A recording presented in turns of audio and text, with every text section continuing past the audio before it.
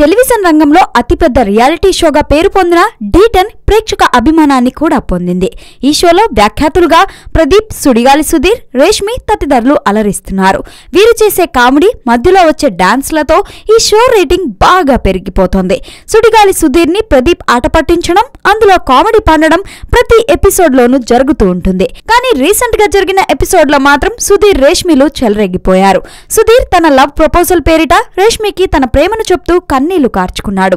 నేను ఐదు సంవత్సరాలుగా నీ ప్రేమ కోసం ఎదురు చూస్తున్నాను ఎంతమంది యాంకర్లు నాకు ప్రపోజ్ చేసినా ఎవ్వరికీ ఓకే చెప్పలేదు. ఎప్పటికీ చెప్పను. ఎందుకంటే నా గుండెల్లో కడవరకు నువ్వే ఉంటావు. ప్లీజ్ నా ప్రేమను ఎప్పుడు ఒప్పుకుంటావ్? అని స్టేజీపై వేలాది మంది ప్రేక్షకులు చూస్తుండగా బోర్న ఏడ్చేశాడు. అయితే ఈ ఎపిసోడ్ అందరికీ సుధీర్ పై కలిగించింది. చూస్తున్న వారందరూ రేష్మి సుధీర్ని పెళ్ళి చేసుకోవాలి అని సోషల్ మీడియాలో మెసేజ్లు పెడుతున్నారు.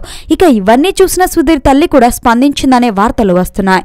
సుధీర్కి చుట్టాల పిల్లలతో పెళ్ళిళ్ళు సెట్ చేసి మరీ కొన్ని నెలల్లో పెళ్ళి చేద్దామనుకుంటుంది సుధీర్ తల్లి.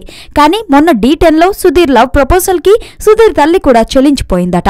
నిజంగానే సుధీర్ రేష్మిని అంతలా ప్రేమిస్తుంటే వారి పెళ్ళికి నేను ఒప్పుకుంటాను అని తన అంగీకారాన్ని తెలిపినట్టు సోషల్ మీడియాలో వార్తలు వస్తున్నాయి. ఇక సుధీర్ అభిమానులతో పాటు ఏకంగా సుధీర్ తల్లి కూడా రేష్మిని పెళ్ళికి అంగీకరించమన్నట్టు మాట్లాడడం సోషల్ మీడియాలో వైరల్గా మారింది. Hi this is Shiva Reddy please subscribe yoyo TV yoyo